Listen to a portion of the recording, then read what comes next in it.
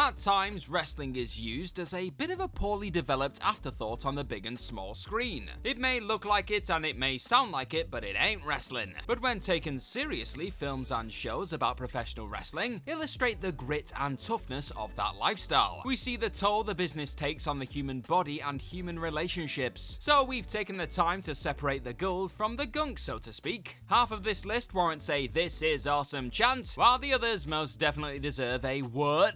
Gareth here from WhatCulture Wrestling, and here are the 5 best and 5 worst portrayals of pro wrestling in movies and television. Number 5 on the worst, Body Slam. One critic stated that Body Slam was a mediocre comedy that will appeal to wrestling fans far more than anyone else. Bad news, it doesn't appeal to wrestling fans either. As an actor, Rowdy Roddy Piper elevated films like Hell Comes to Frogtown and cult classic They Live. Sadly, it was beyond his abilities to elevate or salvage this ultra 80s cheese fest. Body Slam is the tale of a downtrodden music executive who decides to try his hand at wrestling promotion. What could go wrong? That promoter is played by minor 80s star and member of the A-Team, Dirk Benedict. Visually, Body Slam looks like it was meant to be an old episode of Hardcastle and McCormick though. Captain Lou Albano appearing as himself adds a touch of charm. Not his nor any of the other wrestling cameos can overcome a hacky script however. The beats and story arc are all very predictable for a 1986 comedy it must be said.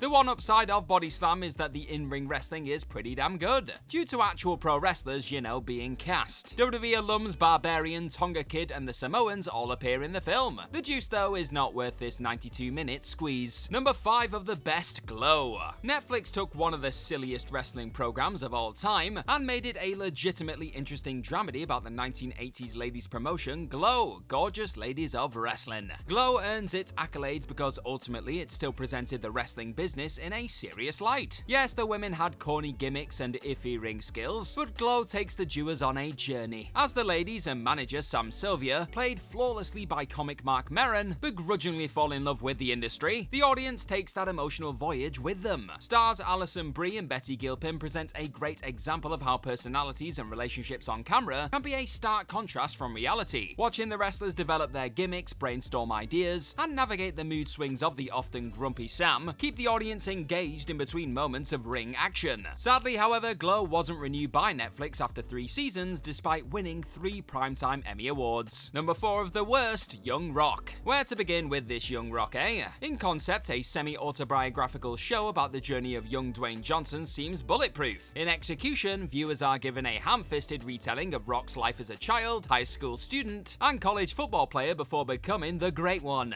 This is set against a backdrop of a near future where The Rock is running for president, and Randall Park is a bootlicking awkward interviewer. The problem with this idea is that a lot of history has to be glowed up to fit the narrative of the show. Many of the wrestlers portrayed in the show did not work for the Maivia family during that time, or at all for that matter, and several other historical accounts were erased or changed in order to better present Rocky and the family's image in the show. Number 4 of the best, No Holds Barred. To fully appreciate No Holds Barred, it helps to be a fan of 1980s WWE. Full of all the larger-than-life action and cheesy dialogue one would expect, Hulk Hogan leads this flick past being bad and loops around to the point of being so bad that it's actually pretty good. Flexing his acting chops, larger-than-life wrestling champion Hulk Hogan plays the lead role of Rip. The seemingly unbeatable Rip faces his biggest challenge and opponent, Zeus. As the film was produced by WWE, Hogan and WWE chairman Vince McMahon had creative control of the script. Released in 1989, No Holds Barred fully embraces kayfabe and gives us only what we are supposed to see. Legendary character actor Kurt Fuller is the one who steals the show as the wonderfully smarmy TV executive Brell though. Brell plans on starting his own wrestling show, but when Rip refuses to work for Brell, he enacts an evil plan to have Rip dethroned by the monstrous Zeus. Zeus is played by the late Tiny Tom Lister, who then went on to appear as the character in WWE for about a year before being released. Number 3 of the worst, Fighting with My Family. Fighting with My Family is a quasi-biographical movie about former WWE superstar Paige and her rise to stardom. The movie was produced by WWE Studios, so we knew we wouldn't get too honest of a peek behind the curtain. Fighting with My Family feels like a light, humorous, feel-good origin story of a lifelong wrestling fan. It hits the notes it intends to hit. Florence Pugh is undeniably charming as Paige, and The Rock is always going to be an asset, isn't he? Like a Cadbury's cream egg, the movie is shiny and goes down easy, but you somewhat regret the choice immediately afterwards. In the assets column, Fighting with My Family took the actual wrestling pretty seriously. Being a WWE product, the movie shone in the areas that WWE Does well. The ring work was good, even for the non-wrestler actors, the production quality was top-notch, and it clearly had a decent budget. The movie suffered in the areas where WWE typically suffers. To quote Jim Cornette, Vince McMahon sells the sizzle, not the steak. It all wraps up in a neat package that would make any studio executive grin like a Cheshire cat. For many true wrestling fans though, it lacks any of the real grit of a good wrestling story. Number 3 of the best, Paradise Alley. Sylvester Stallone directed this 1978 drama about the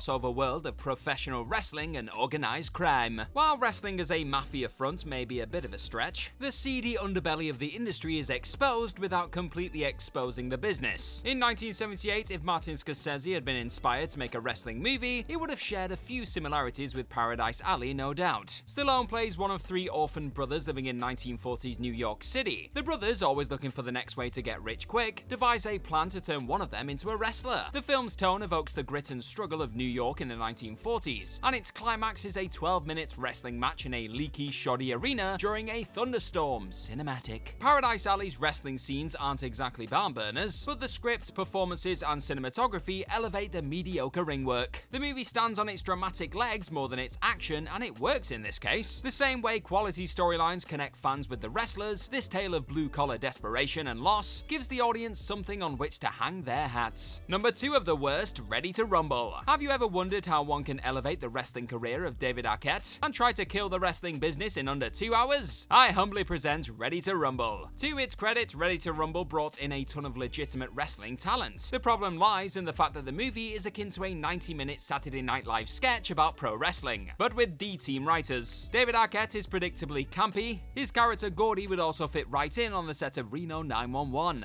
He and his friends are outraged that an unscrupulous wrestling promoter ousted their favorite wrestler. The two set upon a Bill and Ted meets Beavis and Butthead adventure to see their hero restored to his former glory. Sure, we get to see Goldberg spear and jackhammer some guys, and the babyfaces go over in the end. But telling us that Oliver Platt could compete in a ring with Sting or Diamond Dallas Page is asking a bit much from our collective disbelief. Number 2 of the best, Heels. Heels finished its first season and has been renewed for a second on premium network Starz. This is as close as one can come to the independent wrestling scene without having to personally lace up a pair of boots and get super kicked in the face. The dramatic element of the show provides crossover appeal to viewers who may not be walking in the door as wrestling fans. Stephen Amell, a self-professed wrestling fan, leads a stellar ensemble cast. Amell plays Jack Spade, a pro wrestler who is the eldest son of local legendary wrestler slash promoter Tom King Spade. Jack takes over the promotion after Tom commits suicide. From there, we see Tom spin proverbial plates to keep the Duffy Wrestling League afloat, manage a day job, handle his egotistical brother Ace, and take care of his family. Heel spared no expense in ensuring the in-ring action and backstage politics felt real. The looks, emotions, and motivations of each character gives depth and investment into their stories. Most importantly, it's apparent to any smart wrestling fan that the writers know wrestling. The communication between wrestlers feels organic, and the actual wrestling makes sense. All in all, Heels qualifies as a must-see for not just fans, but for wrestlers, some of whom could stand to learn a few things about the business. Number 1 of the worst, The Wrestler 1974. This 1974 Ed Asner movie bears almost no resemblance to the 2008 film of the same name.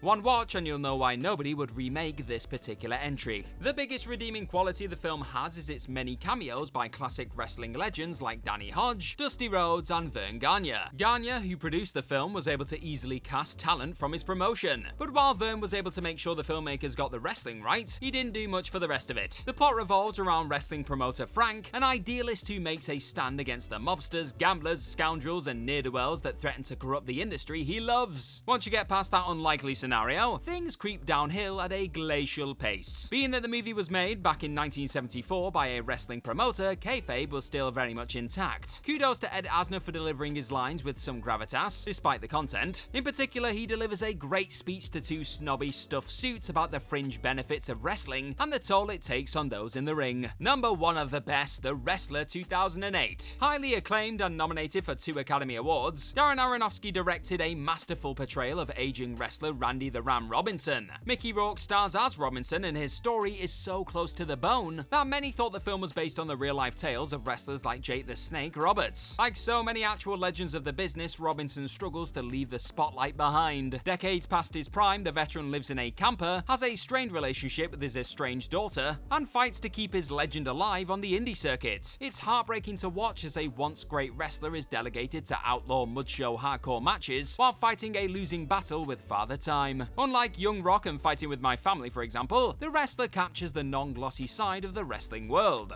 It may be fun to watch the meteoric rise of young talent, but we rarely get to bear witness to the final act of a wrestler's career. The Kleenex grabber is when Robinson tells his daughter, You're my little girl, and now I'm an old, broken down piece of meat, and I'm alone, and I deserve to be all alone. I just need a moment, okay? Just, just one moment, right? Oh, God. And that's our list of any other great and not so great portrayals of pro wrestling in movies and TV. Then let us know all about them in the comment section right down below, and do not forget to like, share, and click on that subscribe button while you're at it. Also, if you like this kind of thing, then please head on over to whatculture.com and find some more fantastic articles just like the one this video you're watching right now is based on. I've been Gareth, portraying a presenter on WhatCulture Wrestling. Thank you very much for watching this video today, and hopefully I'll see your faces very, very soon. Bye bye!